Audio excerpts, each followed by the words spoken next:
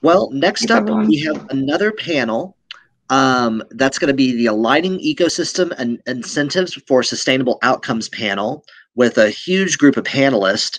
And we're actually waiting to corral some of them in here right now. So until then, I have been told to vamp.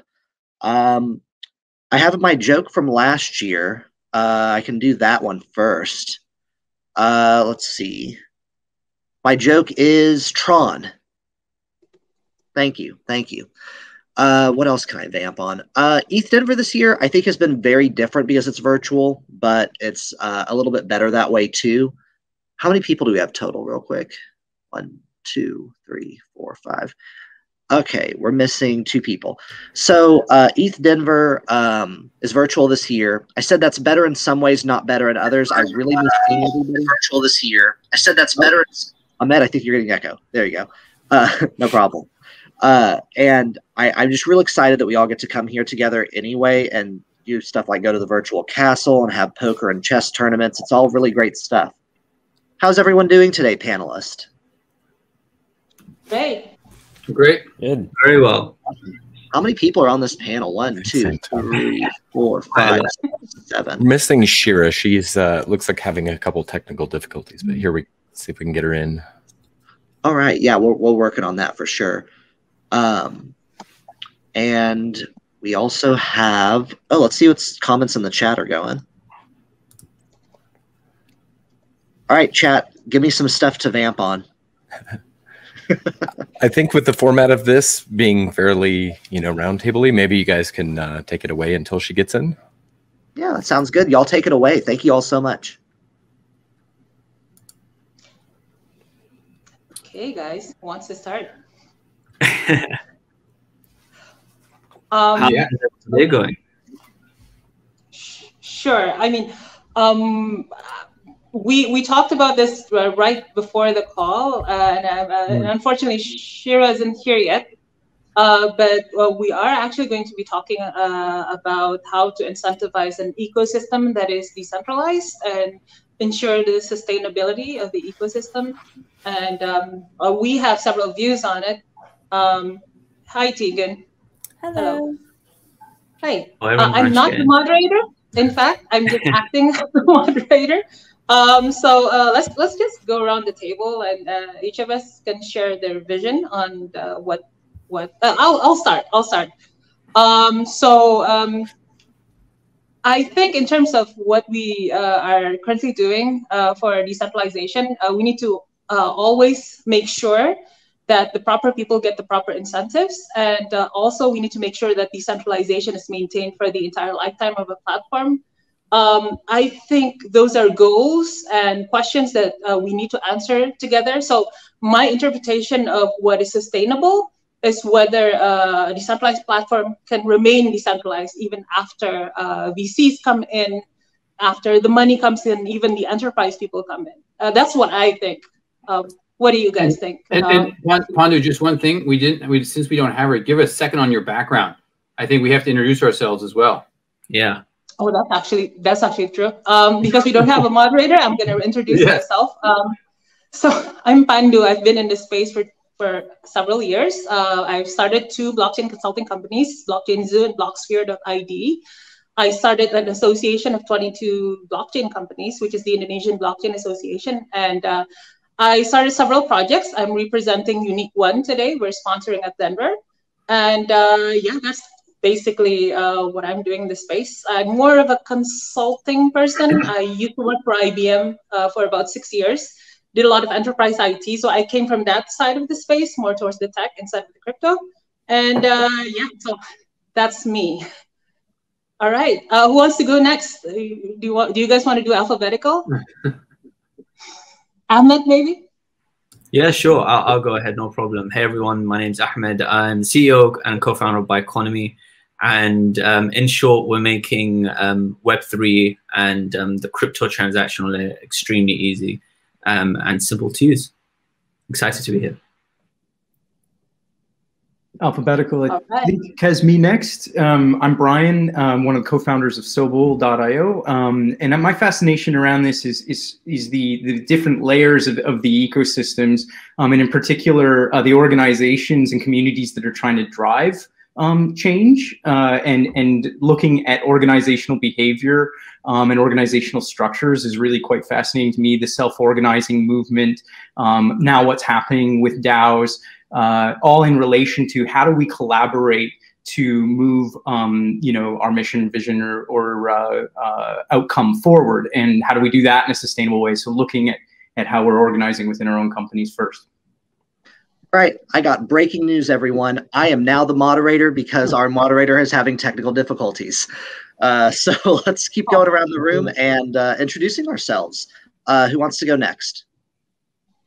Um, the maybe yeah, we're doing, we're doing alphabetical, so it's probably Jesse, right? Oh yeah, alphabetical. That's good. Jesse, go ahead. Okay. Hi everyone. I'm I'm Jesse. I'm I'm the founder of Variant Fund, which is a a venture fund that's investing in what I call the ownership economy, which has a lot to do with aligning ecosystem incentives. Um, in, in, in, in a nutshell, the idea of the ownership economy is, is that um, the next generation of internet products and services are going to be built, operated, and owned by their users, just like Bitcoin, Ethereum, and and a lot of you know marketplaces and DeFi are, are starting to uh, be today. And um, and so, in order for the ownership economy thesis to come to fruition, economic incentive alignment is is really key, and that's my interest in what we're discussing today. Go ahead.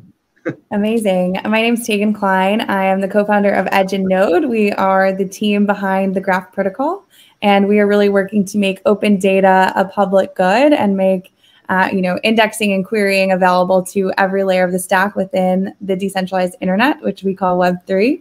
And my background is in traditional finance. I started in investment banking at Bank of America, moved over to sales and trading at Barclays, helped to launch Orchid, which is a distributed uh, VPN backed by Andreessen and Sequoia. Um, and I've been with uh, the Graph and Edge Node for the last uh, year. Cool. Um, uh, Tom here. I am co-founder of Fluence Labs, and Fluence Labs is um, an open application platform that I think fits right into this because we're trying to bring in the decentralized, in bring along incentives to both both the open source community, even larger communities, and we think we can accomplish that by a decentralized peer-to-peer hosting platform where revenue is shared. And prior to Fluence, I helped found Hedera Hashgraph, um, when that was sort of my initial entree into everything back in uh, back in I guess 16, which feels like you know 10 years ago at this point, but uh, or 17, but but there we are. All right, thank you all so much for the introductions.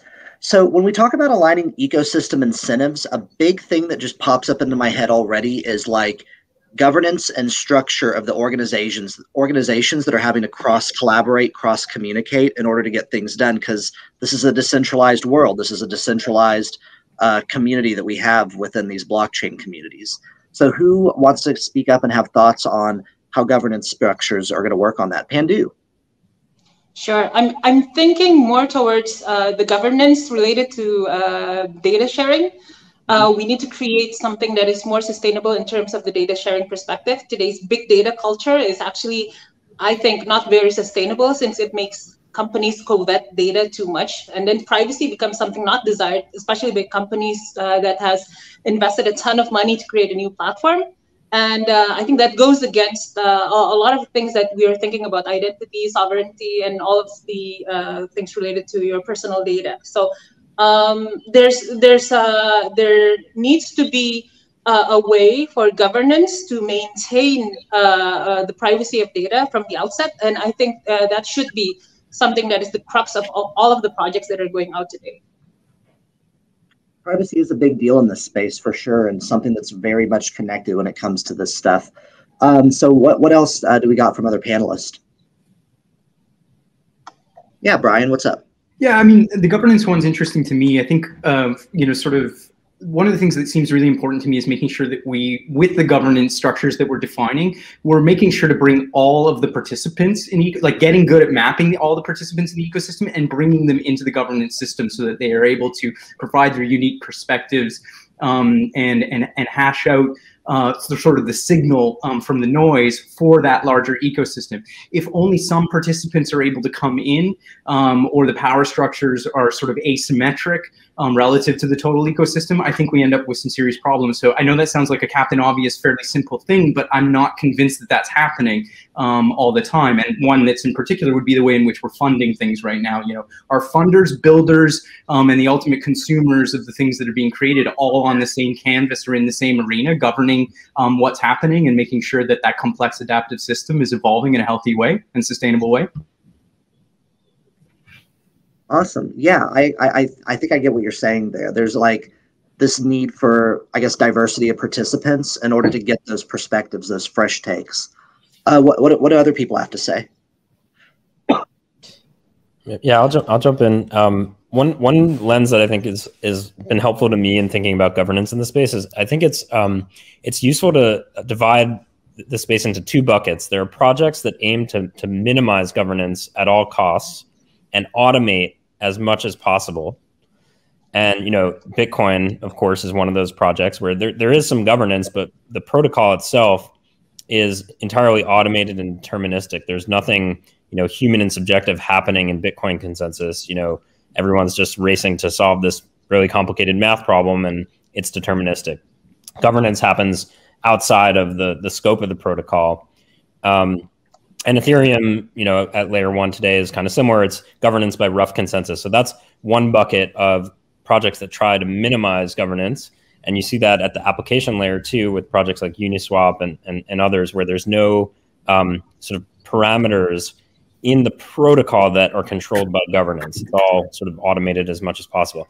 And then in the second bucket, there's projects that are kind of um, more complicated and they require sort of subjective inputs and kind of human decision making in order for things to proceed. They can't be totally automated. They're not deterministic. And there, for those kinds of projects, you do need some kind of formal governance system in the protocol for things to keep operating as expected. Um, and and I think you know I'm I'm excited to see a lot of innovation and in how that kind of governance works, but um, I think there's also a lot to learn from the way subjective decisions are made in other kinds of organizations, like from corporate governance or you know political governance, for example, um, because we've had a lot of time as a species to figure out effective ways to make decisions as as large groups of people, and that's sort of what a lot of these projects need to do. Um, and so, you know, MakerDAO and Compound governance, they have parameters that are controlled by um, by the, the, the token holders. Um, and there, I think like you know some form of um, hierarchical decision making is likely the most efficient way to get those decisions made.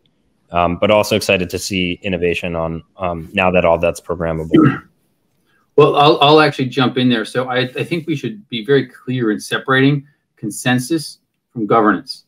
And so mm-hmm. Ethereum, Bitcoin consensus happens, it's fine. But Ethereum still has governance and Bitcoin still has governance. And you have you know real controversies with how some of those are managed, particularly with Ethereum not all that long ago.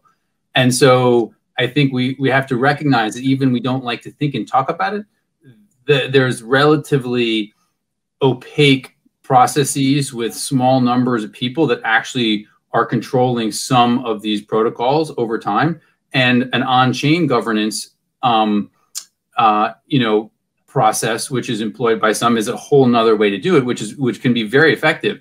My my sort of take on this is it's worth considering that not the governance is different for different projects with different ecosystems and different users. And my sort of main thought is that whatever you're doing, you just need to align your users with your governance. And that is very different. And and it's you know, I think of Hedera, it's, in, it's governed by enterprise. Guess what? The target market's enterprise. It's not the rest. It's not for the whole community, right? That's a different thing. And if you have a different protocol that has a different type of target audience, then that governance should be and probably is quite different. And so I don't think it's a one size fits all um, and is worth kind of, but but really keeping in mind the alignment of those governors and the actual people. And so if you also think back to like an EOS, just to pick names, are those governance decisions made by the same right people that they want building and actually using it? Maybe, maybe not. But that's where you start to you, that misalignment. But there's a misalignment, you run into problems. All right, very good take. Um, So Tegan and Ahmed, um, as far as aligning ecosystem incentives go, governance, uh, diversity of participation, any anything on any of those topics that you have?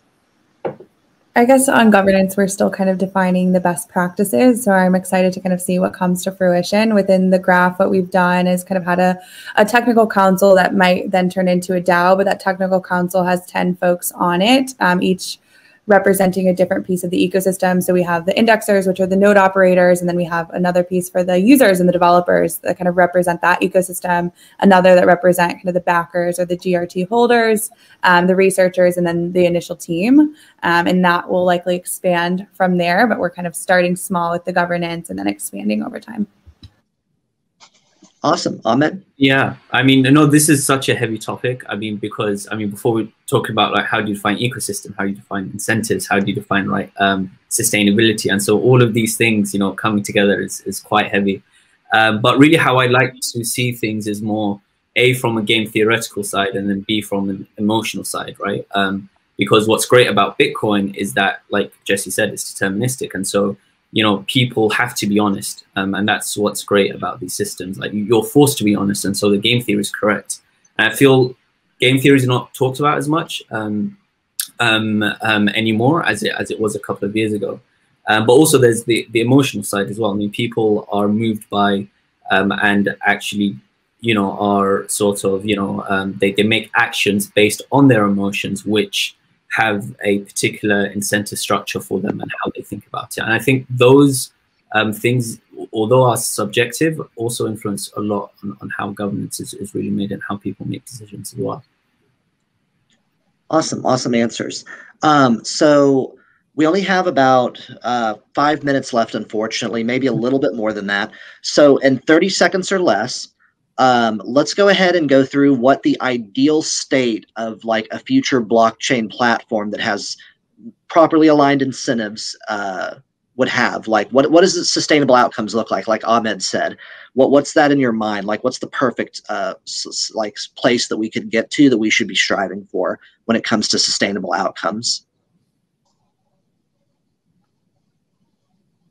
Yes, um, I mean the way I think of it is things should be fair, things should be um, on a merit basis, and things should be very cute, very clear and communicative as well.